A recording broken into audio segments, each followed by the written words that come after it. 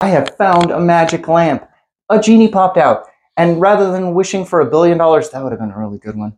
I wished for one whiskey for the rest of my life, uh, an unlimited supply of it though. So I can quit hunting and I can quit, you know, enjoying time with my friends in line at, at you know, waiting for bottles. And I can, I can stop doing all these bottle reviews.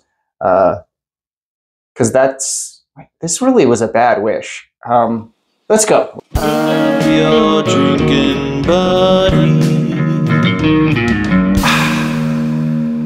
right, drinking buddies. So I have been challenged by Doc from Old Fashioned Ways. If you haven't checked out his channel, it's really good. He does a lot of whiskey videos, but he also does some nice cocktail videos, making some cool cocktails, primarily revolving around the Old Fashioned, which is a great cocktail. And, uh, uh, you know, you could do an entire channel just based off Old Fashioned recipes because there's so many. Uh, but great channel, Old Fashioned Ways. I'll leave a link in the description. Anyway, he challenged me. He said, a genie has came here and he has granted me the wish that I can have an unlimited supply of one whiskey, but that is the only whiskey I can drink for the rest of my life. Kind of puts a damper on this whole whiskey tube situation because if I can't drink any other whiskeys, uh, there's not really any point in you guys watching me drink the same whiskey every day. You guys would probably unsubscribe real quick if that was the case. So luckily this is only a fairy tale and uh, you know, it might work out if I had this wish because I think I could pick a better whiskey than I would drink on the regular, but the truth is, uh, you know, drinking something like drinking something like this occasionally makes something like this special. Drinking something like this occasionally makes this special the variety we have in life shapes our experiences and makes us realize that something excellent is excellent and something low tier is low tier. Without those low tier, everything is low tier. If I can only have one whiskey, sure, it's the best whiskey in the world, but it's also the worst whiskey in the world. So I kind of had to look at it from that angle, and I think there's a really good chance. If I can only have one whiskey, you come back 10 years from now I might be a little sick of it. I might not even drink it, you know, regularly. I might be more interested in rum.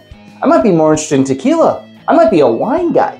Who knows? Chances are pretty good I wouldn't be because the whiskey I'm about to choose is phenomenal. But I had a lot of deliberation to think about because the rules say I have to pick a whiskey that uh, was available at some point in time and was available in a lot of states, uh, which leads me to believe that I can choose Dusty's for this.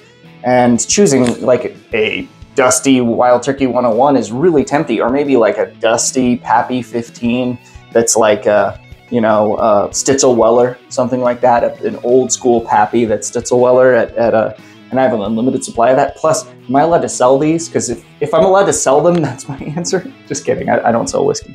Uh, but if I had an unlimited supply of Pappy 15s from you know the early 80s, I, that might be my career actually. Uh, anyway, where am I going with this? I can, I can only drink one whiskey for the rest of my life. I'm to go ahead and choose the best whiskey I have ever tasted in my life, and that's William LaRue Weller. This is the 2022 batch, and I think it's the best whiskey I've ever tasted in my life. Now, if it's not this, it's a different William LaRue Weller from a couple years ago. I've never had them batch back to back. So I can't really say which one is better, but my, my money is on this one being my favorite whiskey of all time. So 2022 William LaRue Weller, I have an unlimited supply of them. Why did I choose this bottle? Well, it is a barrel proof product. So if I'm in the mood for something high proof, it is sitting at 122.7. It is sitting at 124.7 proof, which is perfect. I don't need that much more proof than that. I'm very happy there. Now, it also allows me to mix it into cocktails. I mean, that kind of seems ridiculous, but I could mix this into a cocktail if I had to. And then also, um, if I'm in the mood for something 90 proof, I can always take this whiskey and add a few drops of water to it. Uh, I probably won't do that, but for the purposes of this experiment, I can. I can choose to do that if I want to.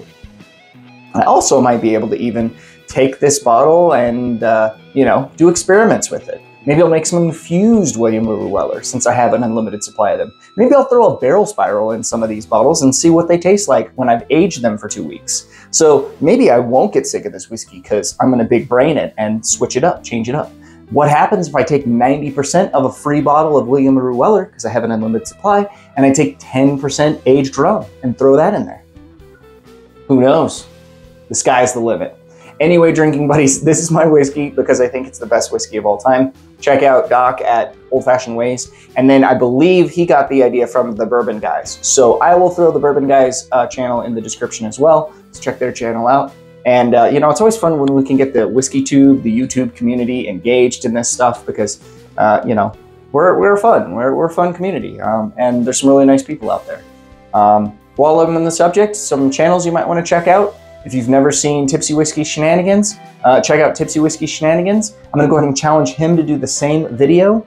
And uh, also uh, SLB Drinks. I don't know if he was challenged in the first video or not, but Trent and Kurt, you need to get on this and do this video, and maybe we can get this out there in the YouTube community. Cheers, drinking buddies. Thank you so much for watching. We'll see you on the next one.